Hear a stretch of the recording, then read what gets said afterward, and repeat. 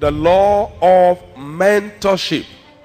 African leaders are only recognized after they are dead. It's an evil spirit.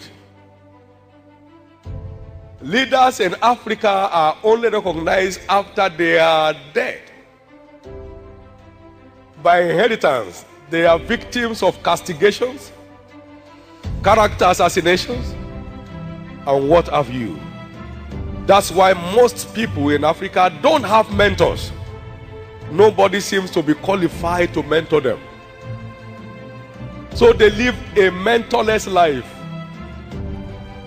And by leading a mentorless life, they never reach their fullest potentials.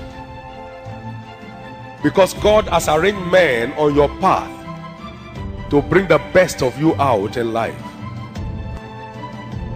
No man is an island of himself. Show me any man without a mentor.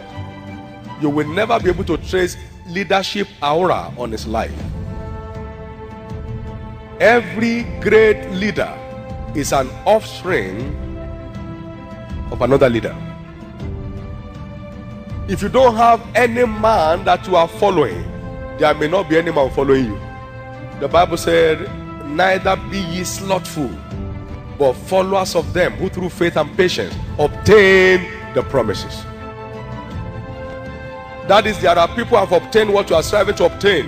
Look out for them and try to uncover their secrets and engage those secrets in the pursuit of your own life, and you will soon be there. When the Lord called me to ministry and I was moving into the full time ministry, the Lord said to me, I will not have you go as others have gone. I will have your you laid hands upon, according to Deuteronomy 34 and verse 9, and you shall be filled with the spirit of wisdom. Hallelujah. Don't lay your hands on yourself. I have ordained someone to lay hands on you. And I said, Lord, who have you appointed to lay hands on me? He said, Send for my servant Adeboye, the GO today of um, Redeemed Christian Church. And he shall lay his hands on you, and you shall be filled with the spirit of wisdom. All my peers in the world know I'm not operating by natural wisdom, I'm operating by divine wisdom. God connected me to a human source through which He would release that deposit. There are certain deposits that you have with God that are channeled through certain human vessels. If you despise them, you will live without that deposit you die.